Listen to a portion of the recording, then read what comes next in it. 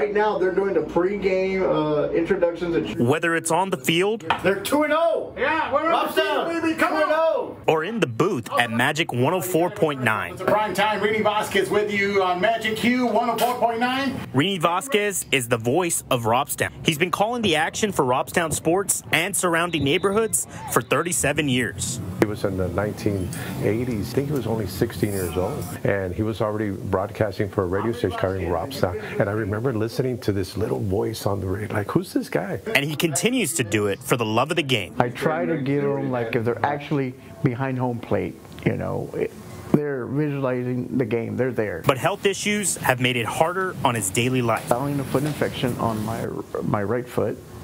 Uh, I'm glad I'm avoiding uh, amputation. And they did uh, the fistula surgery on my left arm. It's from here to here. And of course, I have the catheter. Vasquez already has a toe amputated due to his diabetes and has dodged amputation on his entire foot. He's on dialysis because of renal kidney failure. This, however, is not stopping him from living his passion. But I, I spoke to the doctors there at facility. I said, look, I can't do Monday, Wednesday, Friday, I said, because I got Friday night football. Numerous close calls have almost costed Vasquez his life. Because they had told me the night before that I might not even survive the surgery. Thankfully, Rene has pressed on, and his contributions to community sports have not gone unnoticed. Dr. Flores and I are working on him, trying to get him inducted into the uh, Hall of Fame in sports. When asked how long he plans to continue on, Vasquez told me the same thing he told his doctors. I always pick up my foot, you know, I show them, do I have an expiration date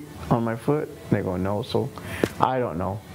I hope to do this as long as God has me here on, on earth. I'm Rene Vasquez, and you've been listening to Robstown Cotton Picker Baseball and Football live on Magic 104.9.